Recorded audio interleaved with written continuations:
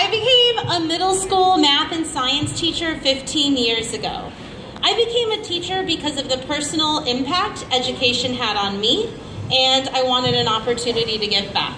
And I'm sure many of you can tell a story of someone in public school who inspired you. Public education is the cornerstone of our democracy.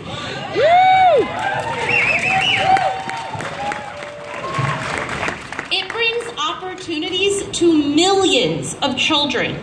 And public education's promise to students is that regardless of your zip code, your race, your gender, your sexual orientation, you have the right to a quality education.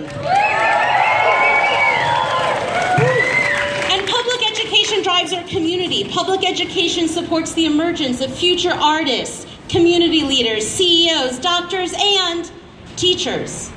And and just months ago, we never would have imagined the future of public education being in jeopardy. We thought we would never elect someone who would question the very notion of public education. When the then president elect Donald Trump announced his nomination of Betsy DeVos for Secretary of Education, In one move, our promise to our students that each of them has a right to a quality education free of cost, regardless of zip code, became a promise for the first time in generations may be broken.